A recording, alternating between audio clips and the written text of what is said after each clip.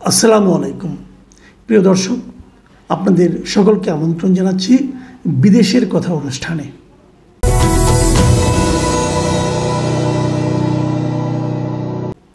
বিদেশ বলতে পাশের দেশ ভারত। ভারতে নির্বাচন হয়ে গেল, সাত দফায় নির্বাচন হয়েছে, লম্বা সময় ধরে নির্বাচন। সেই নির্বাচনের ফল প্রকাশিত হলো আজ, চার তারিখে, জুন মাসের চার তারিখে। আজকে সকাল থেকেই ফল হচ্ছিল এখনও চূড়ান্ত ফল আসেনি, তবে একটা ধারণা পাওয়া যাচ্ছে। কিন্তু চূড়ান্ত ফল আসার আগেই আমি আলোচনা করছি এই কারণে যে নির্বাচনে কে জিতলো, কে হারলো, কোথায় কোন হ্যাভিয়ট প্রার্থী জিতলেন, কে হারলেন, কে ধরা খেলেন, ধরা সেই হলেন, এগুলো নিয়ে আমার আমি আসলে কথা বলব না। এটা তাদের ব্যাপার, আভ্যন্তরীণ ব্যাপার, এটা নিয়ে আমাদের দর্শকদেরও খুব একটা আগ্রহ আছে বলে আমার কাছে মনে হয় না। আমি যে বিষয়টি আলোচনা করতে যাচ্ছি, সেটা হলো একটা ট্রেন্ড সেই ট্রেন্ডটা হলো যে এই নির্বাচনে আপনারা জানেন এরই মধ্যে মোটামুটি একটা ফল সম্পর্কে ধারণা করা যায় যে মোদী সরকার সম্ভবত আবারও তৃতীয়বারের মতো ক্ষমতায় আসছে। কিন্তু তৃতীয়বারের মতো ক্ষমতা আসলেও আগের দুবার যেভাবে এসেছিল, এবার সেভাবে আসতে পারছে না। আগের দুবার তাদের ছিল ভূমিধস জয়। আপনারা জানেন যে এখানে বিজেপির সঙ্গে আরও কয়েকটা আঞ্চলিক দল মিলে কিন্তু একটা এনডিএ মানে ন্যাশনাল ডেমোক্রেটিক অ্যালায়েন্স নামে একটা জোট হয়। এবং সেই জোটটাই কিন্তু ক্ষমতায় যায়। ভারতে মোট সংসদে আসন হলো পাঁচশো তেতাল্লিশটা। তার মধ্যে দুইশো বাহাত্তরটা যে পাবে, তারাই ক্ষমতা গঠন ক্ষমতায় যায়, তারাই সরকার গঠন করে। দু হাজার চোদ্দ এবং দু হাজার নির্বাচনে, দুবারই। এনডিএ অনেক আসন পেলেও বিজেপি একাই কিন্তু দুইশো বাহাত্তরের যে সীমানাটা সেটা পার করে গিয়েছিল। তার মানে বিজেপি একাই আসলে ক্ষমতা ক্ষমতা সরকার গঠন করার মতো অবস্থায় ছিল।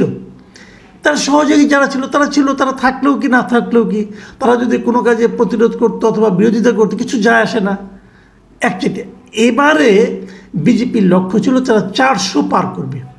চারশো পার করা দরকার ছিল এই কারণে বিজেপি বলেছিল যে তারা এবার যদি ক্ষমতায় আসতে পারে, যদি তারা চারশো পার করতে পারে, তাহলে তারা সংবিধানই পাল্টে দেবে ভারতের। এবং এই সংবিধান পাল্টে দেওয়ার বিষয়টা নিয়ে অনেক নানা ধরনের জল্পনা কল্পনা ছিল, তারা আসলে কীভাবে সংবিধান পাল্টাতে চায়, কি করবে, কি না করবে। এবং বলা যায় যে তাদের যারা বিরোধী জোট, কংগ্রেসের নেতৃত্বে ইন্ডিয়া জোট যেটাকে বলা হতো, সেই ইন্ডিয়া জোট কিন্তু ঠিক এই পয়েন্টটাকে ধরেই তারা কিন্তু অগ্রসর হয়েছে। এবং মোদির হাতে মোদি যদি সংবিধান পাল্টে দেয়, তাহলে কি হবে?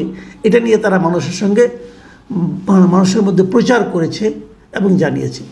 দু তিনটা জিনিস। এখন যে জিনিসটা হলো, আমি বাস্তবতাটা একটু বলে নেই। বাস্তবতা হলো যে এখন বিজেপিকে সরকার গঠন করতে হলে তাদের যারা জোটভুক্ত দল আছে, তাদের উপর নির্ভর করতে হবে।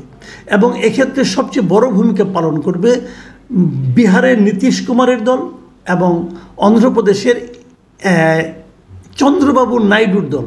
তারা দুজনে মিলে প্রায় আঠাশ তিরিশটা সিট পাবে বলে ধারণা করা হচ্ছে। তো এই দুজনের উপর নির্ভর করতে হয়, তাহলে কিন্তু বিজেপির যে হিন্দুত্ববাদী যে বক্তব্যগুলো, সেগুলো এই দুজন লোক পছন্দ নাও করতে পারেন। অনেক ক্ষেত্রে তারা হয়তো বিরোধিতার মুখে পড়তে পারেন বলে ধারণা করা যাচ্ছে। এই নির্বাচনে বিজেপি যতটা স্বস্তি ভেবেছিল, ততটা স্বস্তি তারা পাচ্ছে না। এবং তাদের যে একটা গর্ব ছিল যে তারা চারশো বেশি পেয়ে যাবে সারা দেশে। সেটা এবার হয়নি। এবং বেশ খারাপভাবেই হয়নি। বিজেপি একা একা সরকারও গঠন করতে পারছে না। অন্যদের উপর নির্ভর করতে হচ্ছে। এটা একটা দেখার মতো বিষয়।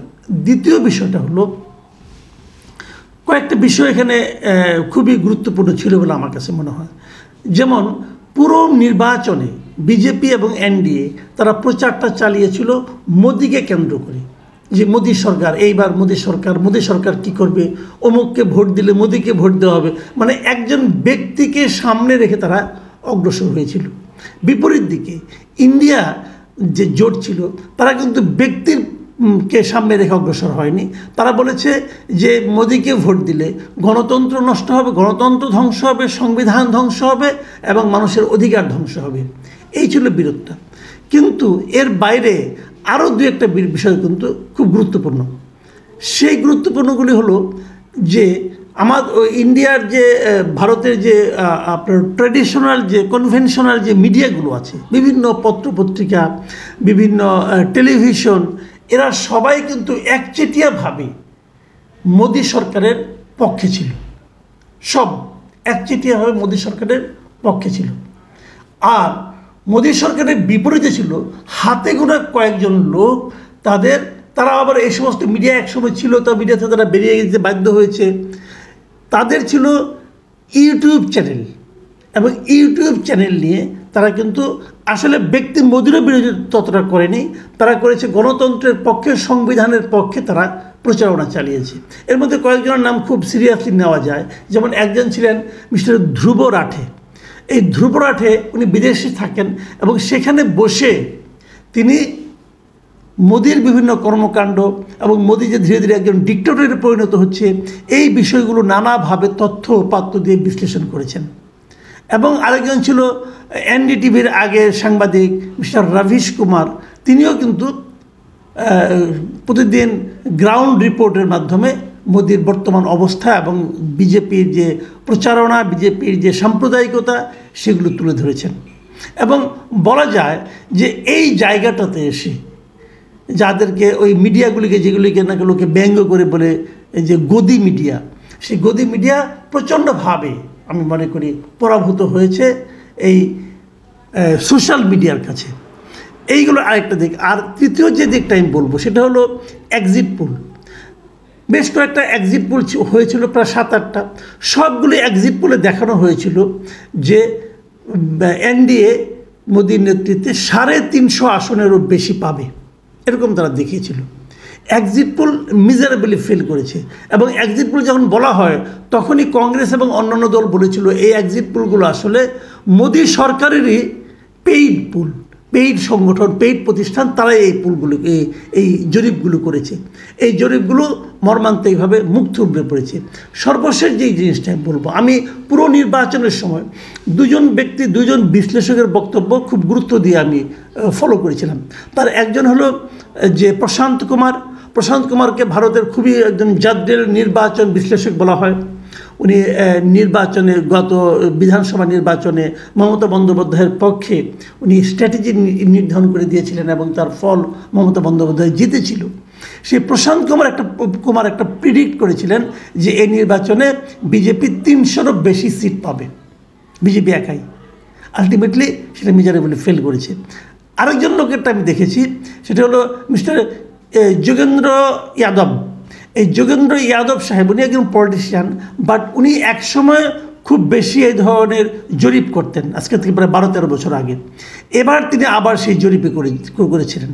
এবং উনি জরিপ করে বলেছিলেন যে বিজেপি একা বাউান্ন সিটের বেশি, এই দুশো বাউন্নর বেশি পাবে না। এবং অন্য অন্য যারা, তারা, যারা যারা শরিক আছে, তারা হয়তো বত্রিশ, তেত্রিশটা পাবে। এবং তার জরিপটা আমার কাছে দেখা যাচ্ছে, আমি যতটুকু দেখলাম, যে প্রায় মিলে যাচ্ছে। প্রায় সেরকমই হয়তো হতে যাচ্ছে। তো এখানে পুরো নির্বাচনকে যদি আমি খুব সংক্ষেপে শেষ করি, তাহলে আমরা বলতে পারি যে এই নির্বাচনে এনডিএর বিজয় হয়েছে। বিজেপির নেতৃত্বে এনডিএ বিজয়, বিজয়ী হয়েছে। কিন্তু পরাজিত হয়েছে মোদি। যে মোদির যে একটা ধামাকা মোদির নামে মানুষকে ভোট দেওয়া, সেই জিনিসটা পরাজিত হয়েছে। এই নির্বাচনে সোশ্যাল মিডিয়ার কাছে কনভেনশনাল মিডিয়া পরাজিত হয়েছে। এই নির্বাচনের কাছে, এই নির্বাচনে নানা ধরনের পেইড যে মিডিয়া, সেই পেইড মিডিয়া জনগণের রায়ের কাছে পরাজিত হয়েছে। পেইড মিডিয়া দিয়ে বেশি দূর অগ্রসর হওয়া যায় না। এগুলো হয়েছে এই নির্বাচনে। সর্বোপরি আমি বলব, এই নির্বাচনে প্রমাণ হয়েছে মানুষ যদি গণতন্ত্র এবং সংবিধানকে সংরক্ষণ করতে চায় একনায়কতন্ত্রকে প্রতিরোধ করতে চায়, তাহলে মানুষের পক্ষে সেটা করা সম্ভব। প্রিয় দর্শক, ভারতের নির্বাচনের ফল, কাল, পরশুর মধ্যে ডিটেল পাওয়া যাবে। তখন হয়তো আরেকটা অনুষ্ঠান করব আমরা। ভালো থাকবেন আপনারা। আল্লাহ হাফেজ।